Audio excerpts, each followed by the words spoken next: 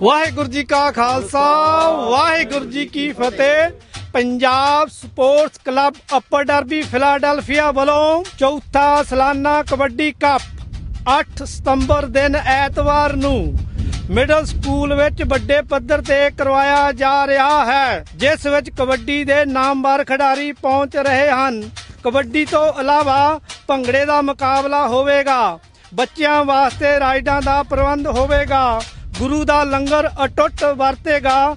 ਖੇਡ ਪ੍ਰੇਮੀਆਂ ਨੂੰ ਖੁੱਲਾ ਸੱਦਾ ਦਿੱਤਾ ਜਾਂਦਾ ਹੈ। ਪਹੁੰਚਣ ਦੀ ਕਿਰਪਾਲਤਾ ਕਰਨੀ ਵਾਹਿਗੁਰੂ ਜੀ ਕਾ ਖਾਲਸਾ, ਵਾਹਿਗੁਰੂ ਜੀ ਕੀ ਫਤਿਹ।